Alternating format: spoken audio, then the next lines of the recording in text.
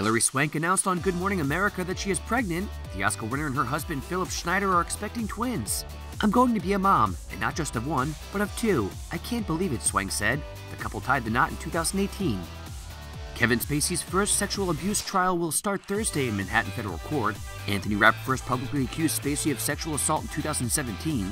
He claims that Spacey made sexual advances to him in 1986 when he was only 14 years old. Spacey had denied the charges. The trial is expected to last through the end of October. If convicted, Spacey is facing significant prison time. Alec Baldwin released a statement addressing the news that a settlement had been reached with Halyna Hutchins' husband, Matthew.